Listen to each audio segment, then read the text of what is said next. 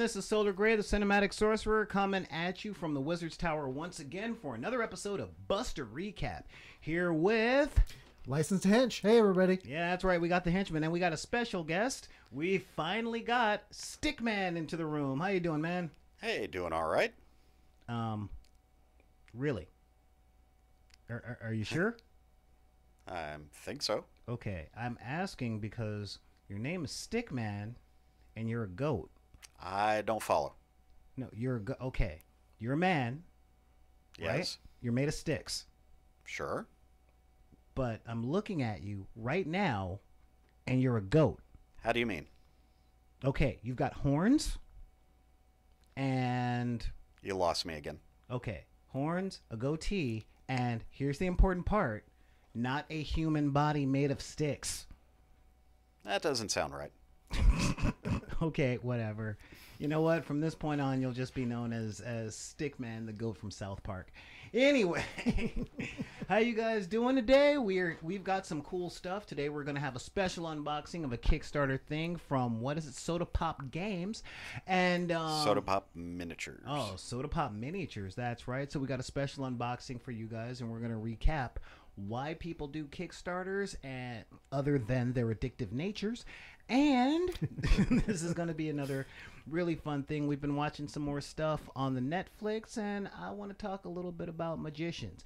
But if you want to tell us what to talk about, maybe next week, you can feel free to Hit us up at backinthedeck at gmail.com. You can also join the group Deckers on the Book on the Facebooks. It's an open group where you can talk to us, the Stickman, the Henchman, um, DW, even the Captain Corporal Steve, and possibly the Duggernaut if I can get him on there too. Or you guys can talk to each other because if you guys want to come to a consensus of how we're full of shit and I look funny, that is where to do it. However, if that's not your bag because you stay the fuck off Facebook, then you can hit us up on the Twitter. Just look for Twitter hashtag BidP or Twitter hashtag Back in the Deck. Now, if you want to talk to us individually, because I want to see your faces, I want to know what you look like, just to make sure that you are prettier than me, because that's what I think. I think that you're prettier than me, and I need you to back it. Hit us up on the Instagram at Instagram slash BidP. So that's the Instagram, that's the Facebooks, that is. Ah, me running out of breath. Shut up. I know I smoke. I don't care. However, that's the Facebook, the Instagrams, the Twitters. And finally, you can hit us up on the SoundCloud. Now, SoundCloud is special because you can download the audio of everything we do for free. So you can listen to it if you're in traffic, if you're in the toilet for a certain amount of time, or if you just don't like looking at people's faces through your phones or your iWatch, because we are in the Dick Tracy future, I guess. You can always download us, put us on your phone, and listen to us while you're in places like the gym so that you can laugh while you're in the elliptical. Or if I know you and you know who I'm talking to, you're listening to us at work right now. So hit us up at Back in the Deck. Um, look for us on SoundCloud. And honestly, if we get enough with you guys, then that'll be some really cool stuff. We'll get the partnership and we'll be able to push out a lot better content. So, where do we want to start today, my henchman? Well, I think we should start with uh, Stickman's uh, new unboxing. Oh, Stickman. yes. Yeah, you got a new toy The today. Crowdfunding addiction. Uh, Yeah. Yes. So, um, yeah, let's see. I would say, like, tell the crowd about you, but I don't want them knowing who you are because all of your drops of wisdom and witty one liners I want for this company. It, it works better if I'm a mysterious shadow. But you're not a shadow, you're a goat. Not with you there. What's going on? Jesus Christ. Anyway, All right. but yes, uh, Rail Raiders Infinite by Soda Pop Miniatures or Ninja Division. I'm not sure what they go by from week to week. Okay. But they make really cool miniatures, and this is Chibi Train Robbery in space. Sorry, you said it the incorrect way. If the Viking were here, he'd say Chibi train robbery, or he'd say Chibi train robbery in space. You have to get the other Y's. The Y's are important. I lack his rhythmic lyricisms. Fine. You're killing my merchandising. Go on. but uh, it has a lot of figures, which is always a draw for me because I like figures. I like miniatures. I like models. I like stuff I can put up on a shelf. If I decide the game is no good, I'll just put them up on a shelf and they'll look cool. They'll say, Don't those look cool? Yeah, what are they for? Never Shut mind. Never mind. The game is not playable. Yeah, we always need more stuff to dust, which is always a bad, which is a bad part of being a gamer with miniatures. Is eventually you got the coolest looking toys in the world that you've forgotten how to play with. um, speaking of coolest looking things in the world, so I went down to your uh, workshop, Mister Henchman. Mm-hmm, Um, do you plan on getting visited by Tom Hanks and turning him into a kid, or what?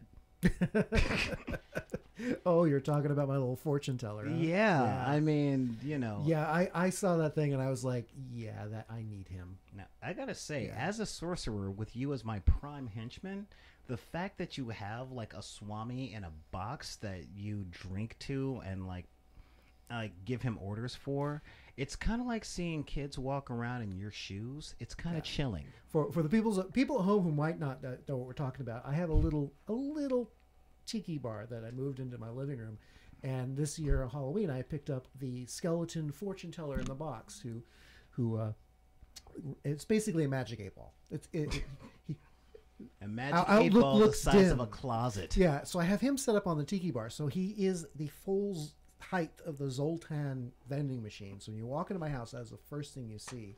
And uh, I'm, I'm just liking the aesthetic of him being there. And I'm I'm planning on adding a few more uh, spooky elements to the house. I've decided to kind of go the full haunted mansion decor and just Okay, but if I see one black dude in wizard's robes hanging from your ash tree, um, we gonna have a talk. You can I- crucify him all you want. You just don't ever hang an effigy of a black dude. Okay, that, do that. That's where the mummy goes. oh, fair. But wait, mummies are Egyptian, and Egyptians in Africa, yo. So I'm just no, I'm I'm just messing with. Hey, you. look, a topic change. All right. So again, I'm a little over the moon because I've been trying to get Stickman in the studio for as long as I've been building it, and he's like, "All right, you can get me in the studio as long as you cast a spell and make it so that I look special and all that stuff." So I'm like, "Fine." I cast a spell to get him here, and sure as shit, he's here. Although you're a goat. Not getting that. Okay, so anyway, um, some of the stuff I wanted to start off with in the beginning of this, cause um, like I said, we got a whole bunch of stuff, and Stickman and the Henchmen are two of the people that we like to watch a lot of movies that we would never recommend to anybody sober.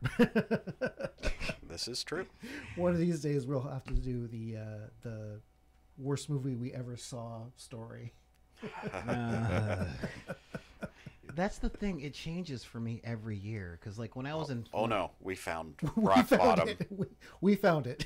Okay, is this gonna make me melt down and just like curl into a ball in the same way when, when I was watching um Oh, God. at your house? We destroyed the Viking with it. Yes. Okay, but you know this is the Viking, so if it isn't fantasy or anime, he's pretty Okay. brittle. Okay, just a little bit of backstory. Uh, the Stickman and I were roommates, and um, he had gotten. Uh, he was very excited about a disc we got on uh, from uh, Netflix.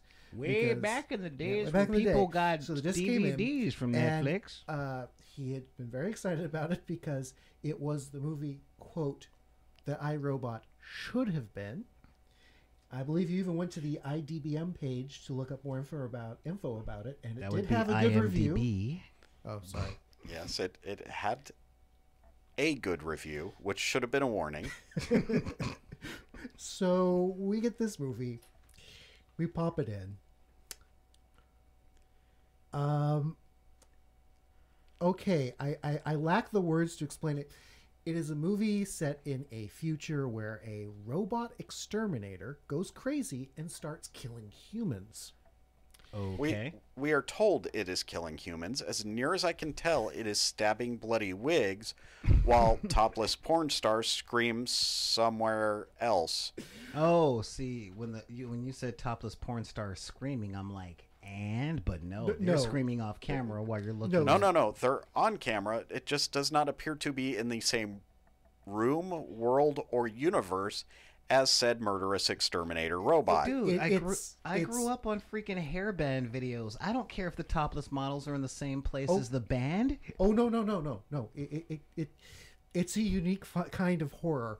Um, it starts out with some kind of B-roll of a uh, porn star, usually she's naked, on a set, which is someone's house, and you, you just by the look of it, you, you get the impression that like, okay, this we're doing this between takes, and she's acting scared. You can almost hear someone off camera going, "You hear a sound? What is it? Where is it coming from? Is it behind the door? No. Oh!" And then close up to her screaming, and then cut to a balloon filled with some kind of goo, wearing a wig, being stabbed by a guy A in wig front that of a wall. does not always seem to match alleged murder victims in the movie. Yes. Oh, that is kind of awesome, actually. And then it cuts to the You say that now. Wait, I, puppets? I think in a future review or a future what show are we on? this is Bust a recap. Bust a recap, you will have to inflict this movie on him and have him discuss his feelings after seeing it. So it cuts to the robots. Hang on. Um, leave comments below if that sounds like a good, or at least let me know if you guys want The to. put movie, in case any of you have accidentally seen it, is called Exterminator City. Oh, I saw something like that on Good Bad Flicks. If if you think that our our cinematic sorcerer should be exposed to this, please upvote the, upvote this video on YouTube. Oh, we'll, we'll just, just bring the pain. so it cuts to the ro- it cuts to the puppets, which are shot in someone's basement up against a blank wall, and one person actuating both puppets and doing both voices.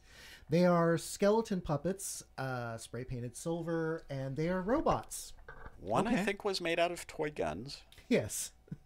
So it's the two cops and the exterminator bot, and uh, it it just continues along some dialogue delivered flat, Okay. uh, back and forth, person talking to themselves, and the whole time you just can't look away. I mean, you would think, oh, this is bad. I'm going to turn it off. No, there's there's something bizarrely compelling about this, and you just keep waiting for the other shoe to drop.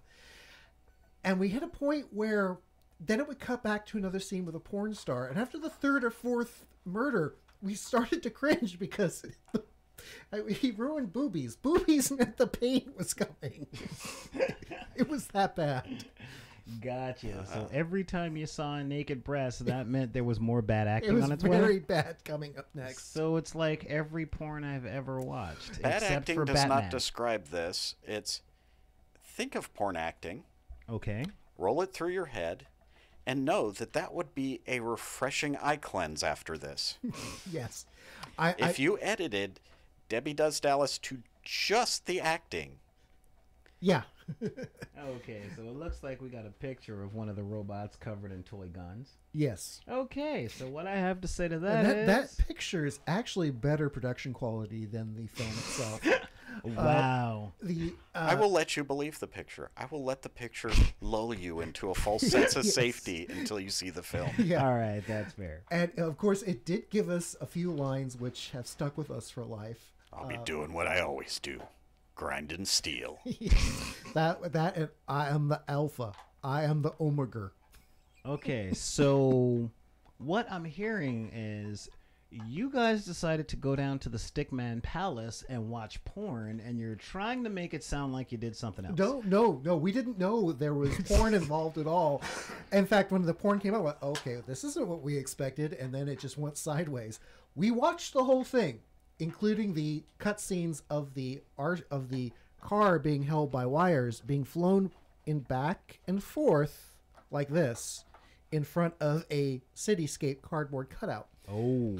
Uh, No, we spared no expense. So People- it was The Terminator as written by a high school kid um, and directed by Ed Wood's um, Rotting Corpse, is what you're saying. People may be embarrassed watching porn. I am ashamed of having watched this movie. There is a subtle but important difference. Yes, but that's not the best part. we we watched all of it, which again we we couldn't not we couldn't look away, and we both were like, "Wow, that is that is quite hands down the worst movie we've seen." All the way through, Okay. and then we told the Viking about this, And the Vikings like, I have seen some bad, bad films. No way is this worse. We're challenge accepted. And we gleefully and maliciously slammed the DVD back down there and watched the whole goddamn thing a second time. Wow. All the while watching the Vikings' faces, he's like reacting in the same horrified fascination we did. I'm, I'm afraid the third time we're going to have to lock you in the isolation booth and just watch a time lapse of your reaction because I don't think I can do it a third time. All right, that's fair. So, in other words, if you guys are actually looking for something to actually watch and enjoy, we would have to give Exterminator, uh, Exterminator City, I think it is. Exterminator. What, what was it called? Exterminator City. yeah, Exterminator City. Yeah, that is a solid pair. A solid pair. That It's is not drawing to an inside straight and going all in. Oh wow. I, I was Yep. actually going to give it the uh, instruction card. Oh jeez. Okay, so Like, what you guys? It's are not saying- even on. It has. It's it's in a category by itself. It's not even on the scale. The only reason why you would look at it is because wow, this is different. Okay, so henchman gives it a fold, and the stickman gives it a walk away from the table. Yeah. Again, that that that would be a fold. All right. Well, you know what? Challenge accepted. I will watch this thing because I have, under the henchman's advisement, ladies and gentlemen, I have started watching what I was surprised to find out was a sci-fi original series. Now, if you guys are as old as we are, or you have friends that are as old as we are, sci-fi original is euphemism for if this got funded, there's no excuse for you. Um, and I'm talking about the magicians. Okay, the magicians. I'm um, magicians season one has got to be the trickiest TV show I've ever seen in my life. And I know, I know, I know. Magicians tricky. no, no, no. Screw that. Because I was really waiting for it to get interesting. But for some reason, I guess there's like a subliminal message that makes me keep pushing next episode you know, because I'm going, okay, okay. And then, like, my girlfriend, the Hobbit, will come in and she's like, okay, so I didn't see like the last two episodes. What happened? And I'm like, oh, well, this person did this and this person did this and this and this and this and this and this and this. And she's like, I don't know who any of these people are. And I'm like, I shouldn't. I shouldn't know who these people are. You get weirdly invested in it. Yeah, but and it's weird because I'm weirdly invested in the story, although all of the characters are so sexually attracted to my closed fist. I mean, I just want to punch all of them in the mouth, including the pretty bookish girl who has the largest bust size I've seen on TV in years. And I actually like the lovable bitch um, the Latina snobby girl. She's actually pretty cool, only because it's very rare. It hasn't been since Cordelia in Buffy the Vampire Slayer since yeah. I've seen a chick that's so mean, so right, and so unrepentant.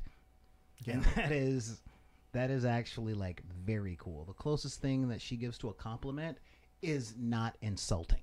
So that that's a big thing. Um, but I love the staff, the dean and the um, the Russian teacher. the Russian teacher, I love to death. I really do. I'm like, yeah, I like this guy. I like this guy a lot. You know, I'm at the part of the part of the show where he's Mr. Miyagiing, the only student I appreciate. Um, but yeah, outside of that, I like the idea of like the teacher is walking by and we see the meet cute, we see the budding love, and he looks at the two budding love students and he well, first thing he does is the good old Professor Snape, which is what I like. Um, and he's like, "Okay, so this is the spell. Yeah, it's to drive a nail into a piece of wood straight." And one of the guys starts doing it and he casts a spell to shut all of his students up. No one else can talk. and I'm like, this is the spell that every single teacher wants in every class. I don't care what grade level.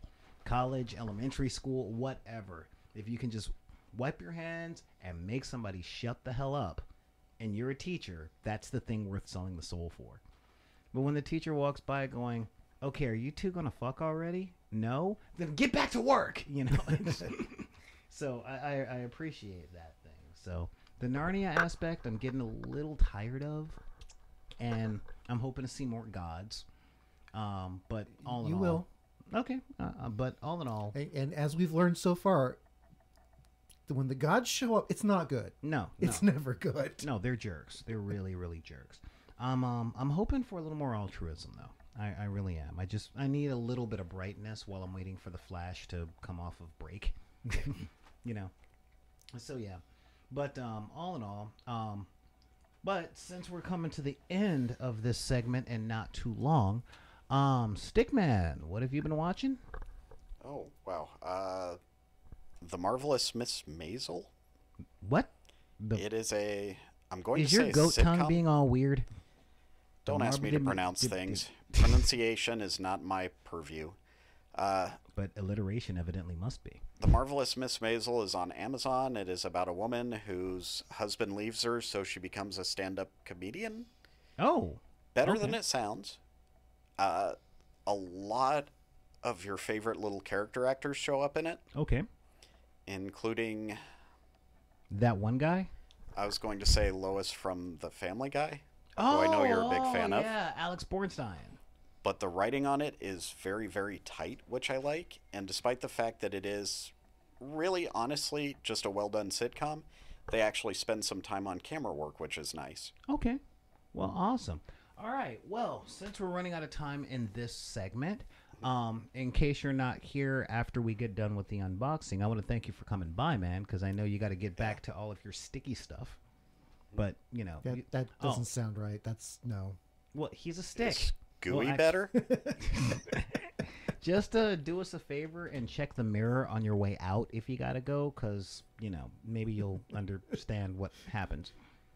So Fine, fine. You say that. when I picture my mind is is uh, John Lithgow from Third Third Rock. Whenever he looked in the mirror, good lord, I'm gorgeous. fair enough. Um, so let's get around to this unboxing. All right. All right, let's take a look here.